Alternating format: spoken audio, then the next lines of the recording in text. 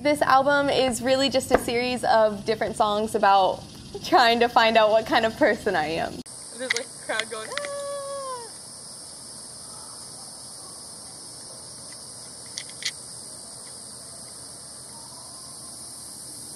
I made this album to remind myself of how far I've grown and to remind others um, to try on different personalities and that that's okay to try on different personalities um, just to find the one that you like and fits you best. Um, this is my middle school. Yeah. Um, a lot of cringy memories happened here. I remember over here. Development takes time, and the ride along the way is confusing and stressful, but overall, it's fun. I remember, you can't really see it, but like down there, there's these kids. I don't know if I should mention their names. I'm gonna just say their first names. This kid Adam and this kid Hurley.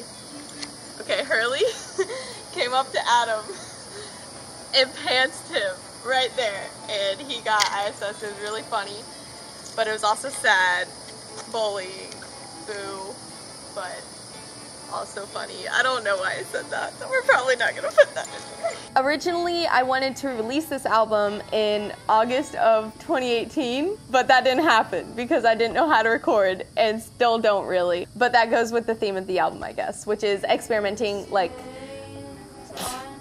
experimenting my sound, my voice, and my image, and who I aspire to be as a musician and a person. Um, that was funny.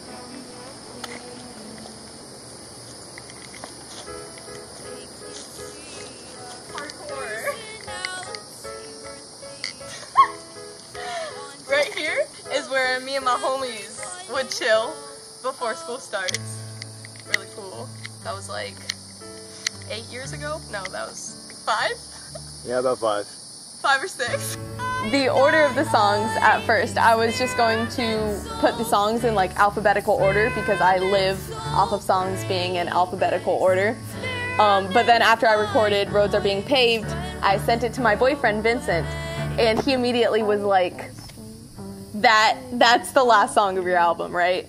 And after he said that, I was just like, "That makes so much sense. You're so right." Like to end the album with Roads Are Being Paved would mean that there's more to come and that this album is just the beginning. It would be like tying a knot in a perfect bow. After that suggestion, I started ordering the songs more personally, um, which is why Unless You Try is the first track. Because if I didn't write, if I didn't write that song, then I wouldn't have released this album um, on, on the date that I wanted to. It's really the song that made me push out the album. So it just made sense for it to be the first track.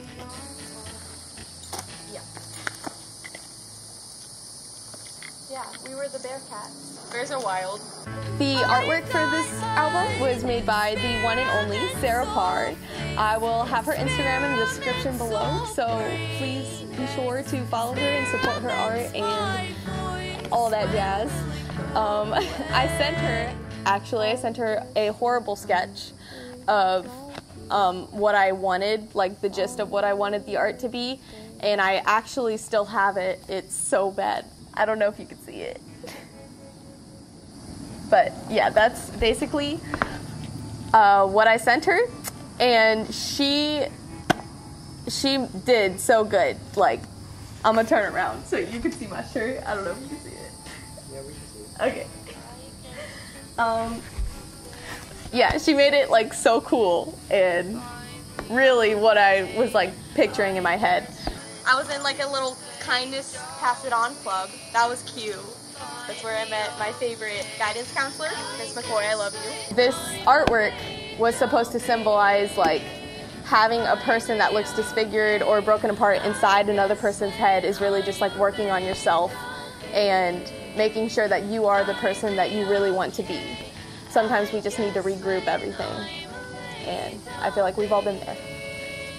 So, yeah, I hope you guys enjoyed this album. And if you haven't already, go download it now. All the um, links will be in the description below. And tell your friends about it, share, like, subscribe, all that stuff.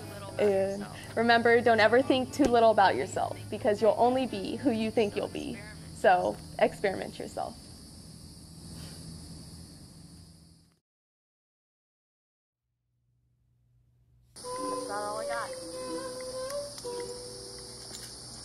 一个。